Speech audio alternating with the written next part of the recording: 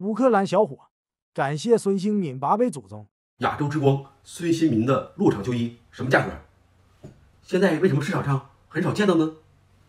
故事啊，还要从一九年那个客场说起。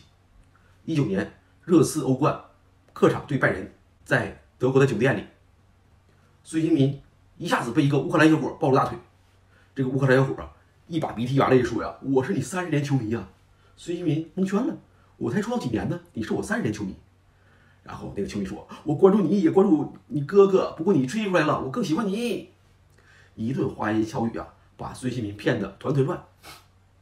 然后孙兴民说：“你这么喜欢我，我给你一个签名吧。”那个乌克兰小伙提出要求：“我不要你的签名，明天你踢拜仁的时候，能不能拿落场球衣给我？”现在科普下什么是落场球衣，就是球员在比赛中穿的球衣，然后下来呢，直接给别人。或者自己留作纪念，这样的球衣呢叫落场球衣。孙兴民听完之后啊，我答应你，我答应你。然后那个球迷非常高兴的离开了。第二天的比赛，热刺呢输给了拜仁。孙兴民啊心情不好，但是他依然遵守诺言，在酒店里等待那个乌克兰球迷。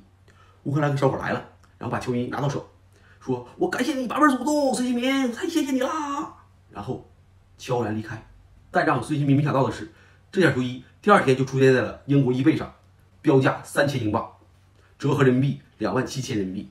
这个所谓孙兴民铁杆粉丝的乌克兰小伙，其实他的真正身份就是一个球衣贩子。因为落场球衣有着高额的价值，所以他到处骗取，不择手段的拿到球员的球衣进行拍卖，从中获得暴利。这是欧洲一线球星必须上的一课。后来孙兴民知道这件事情之后。在市面上就很少见到他的落场球衣了。